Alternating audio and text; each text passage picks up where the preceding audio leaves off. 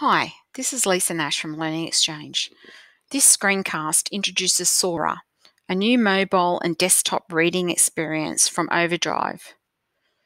Designed with students and educators in mind, it provides an enhanced access to Overdrive, our ebook and audio platform for our students.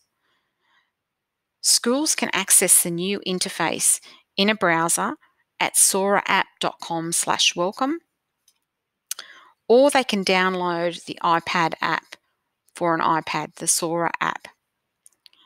When you come to the browser or in the app, you will need to find your Overdrive collection. Our Overdrive collection is called ASIN.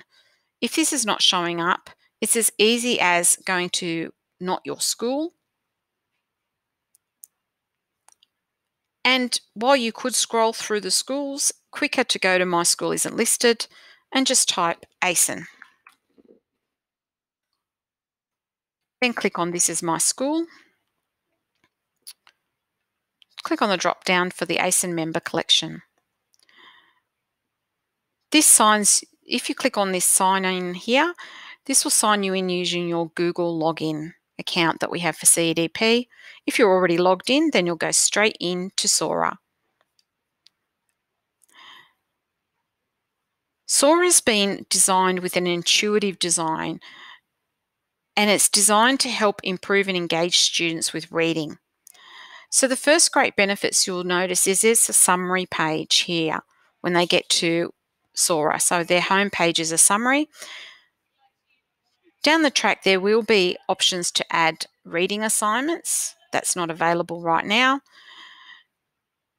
It gives a list of their loans and any words that they've recently defined, as well, any, as well as any notes and highlights.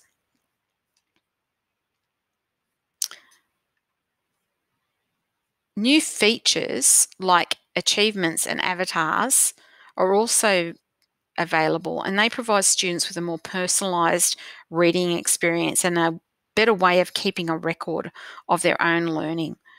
So if you click on me, you'll notice that you've got this little avatar that you can change. You can also click here and add your own nickname. And it gives you a summary of your reading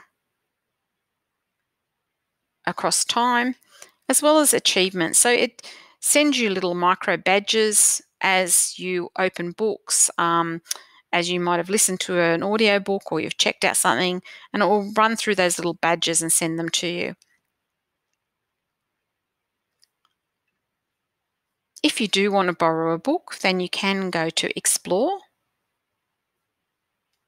And you can either scroll through the books or go to the 4,000 titles, look at popular subjects, or you can go to collections that we've set up for our schools.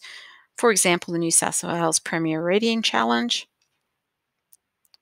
You could easily borrow that book or just read a sample. In this case, I'm going to open a book that I already have. And once you've opened that book, you can easily just read online the good thing is too that it still has all of the benefits that we've had in the Overdrive browser in that we can highlight text, highlight it and make a note about that.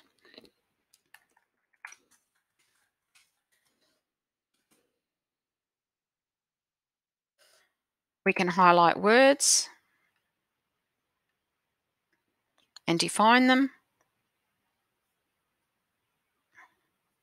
And again, all of those things will still stay attached to their account, each person's account, even when the book has been returned. So these are the sorts of notes and information that student can build up about their reading, which becomes a real learning journal of their reading for themselves and for teachers to have a look at. Also in terms of um, accessibility, you still have access to all the enlarged text, dyslexic fonts, and range of other accessibility features. Sora is going to be the recommended way down the track to access our digital collections. At the moment, we'll have two ways. We can go in through Sora or just through ACE and Overdrive. So try Sora out, uh, download the th- free app from the Apple App Store or try it in your browser at soraapp.com slash welcome. Each school also has the direct link to the Sora Welcome browser in the student ebook page on their eLibrary site. Try it today and enjoy your reading.